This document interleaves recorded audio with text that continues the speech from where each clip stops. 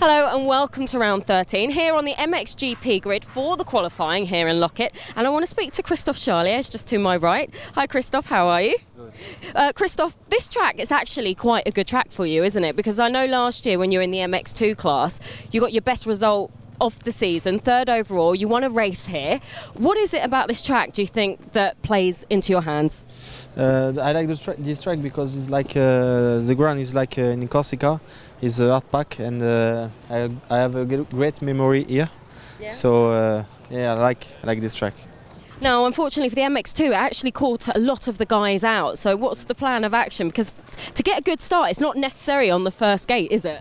Yes, I think uh, all the place is uh, it's good for the for the start, and uh, the the start is very important for this week.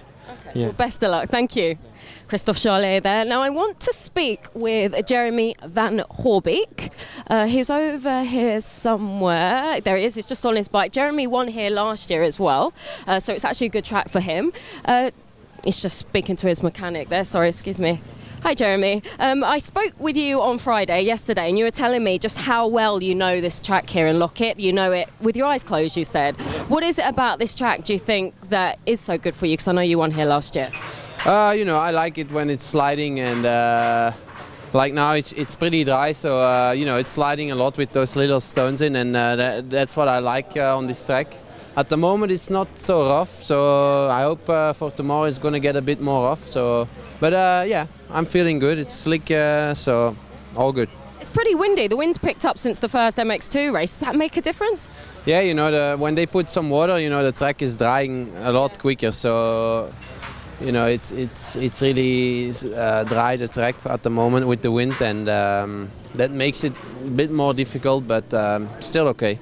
Well, good luck. Thanks for that, Jeremy. Time now for the MXGP qualifying. Clement Desalle just eyeing up the start straight in his first race back from injury on his Rockstar Energy Suzuki, but looking quite relaxed all the same. What about Romain Febvre? Arriving here as a championship leader, knowing that Antonio Cairoli, his closest challenger, will not be lining up on the gate due to his recent arm injury. Gregory Aranda, a wild card rider this weekend. He'll be hoping to get a good start in the qualifying race. So too Jeremy Van Horebeek, Yamaha Factory Racing Yamalube, the winner here last year.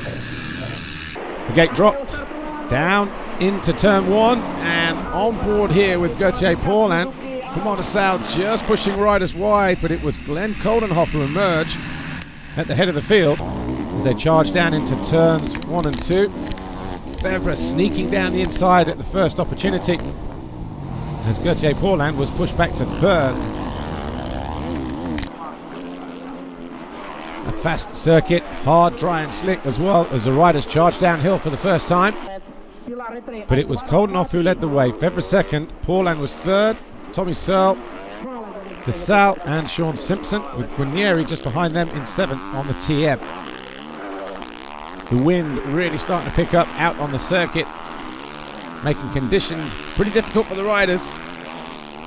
A fast drying racetrack, but also very dodgy over some of the jumps as well. Nathan Watson a little bit further back, just behind Bengtson. He was uh, down in 17th at that time. But Romain Febvre just ahead of Gauthier Paulin.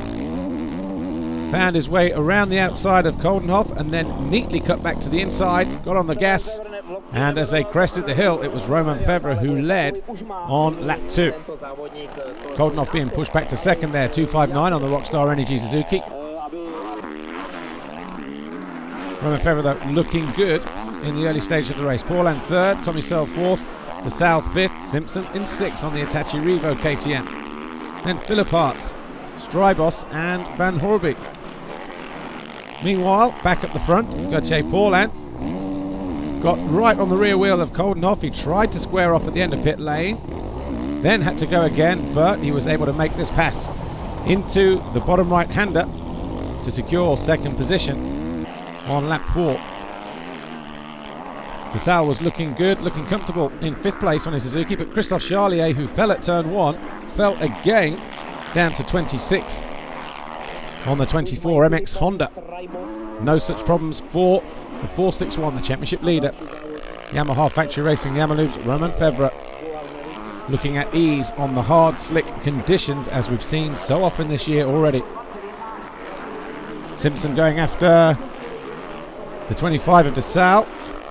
And there's a real freight train going on behind him as Charlier rejoined the race. Would eventually come home in 26th position though.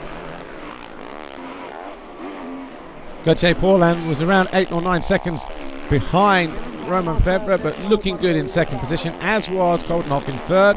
But Philippaerts, Strijbos, Van Horebeek, and Bobryshev all duking it out in the mid part of the race.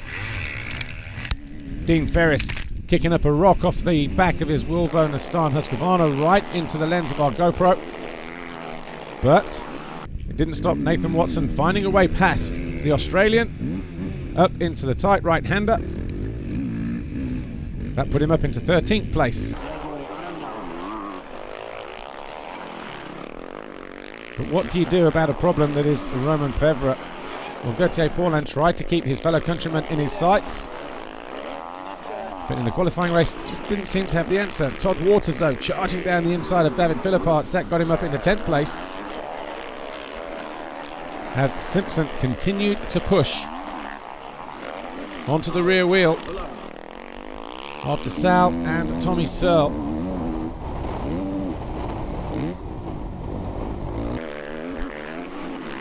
Sal got back in contention of the 100. Searle on the KTM thought he'd found a way through at the end of the straight into turn two, but Searle just had enough of an advantage to squeeze the Suzuki back and keep him there in that fifth place.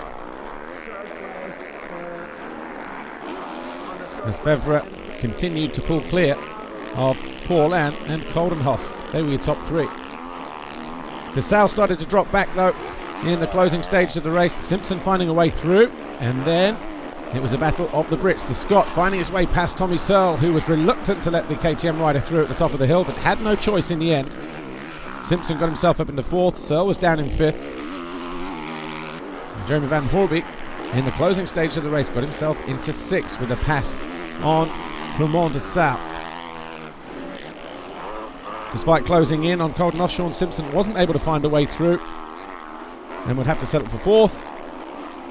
It was Romain Febvre who crossed the line to take his second qualifying race win of the season. Paul Paulin was second, Coldenhoff third, Simpson fourth, Searle was fifth. Romain Febvre, congratulations. Second pole position of the season. But you were pretty much riding around solo, weren't you? you were, was it quite lonely out there for you? No, no, you know, uh, yeah, the start was not so good. Uh, yeah, it was good, but when I shifted the third, uh, I lost sometimes. And then, uh, yeah, everybody came on the front and I cut really short the first corner and I was second so uh, yeah pretty happy about that and uh, yeah I make maybe one or two laps behind the, the Coldenhoff I find some good lines and then just uh, I pass him and then I rode like uh, like I was on the training so uh, yeah I pull away and uh, it's yeah definitely good for tomorrow we need to take a good start again and we'll be good good luck thank you Gauthier Paulin, second today in qualifying. It looked quite easy for you to pass Coldenhoff, but you just couldn't get past Febvre. How tough was it out there? Uh, you know, uh, Romain was fast, and uh, it's only the qualifying race. So, I mean, had no there is no sense to, to give 100%, but uh, definitely the track was uh, was dry and, and kind of hard packed, so it was tough to, to make the difference. You know, Every, we could see on the on the time qualifying on the lap time that everyone was in the same second. So it is pretty pretty hard, but uh, the place on the gate is not so so important. So it's always good to have a good feeling, good sensation at the, at the qualifying race. But uh, but there is some good spot on the gate for tomorrow. Anyway, you know my feeling is really good with the HRC Honda, so we'll see. Good luck for the race. Thank you. Thank you. Glenn Coldenhoff, third today in qualifying here at the Czech Republic. Best quali of the season for you, isn't it? Just tell us, because you had a good start, but you just couldn't quite keep up there, could you?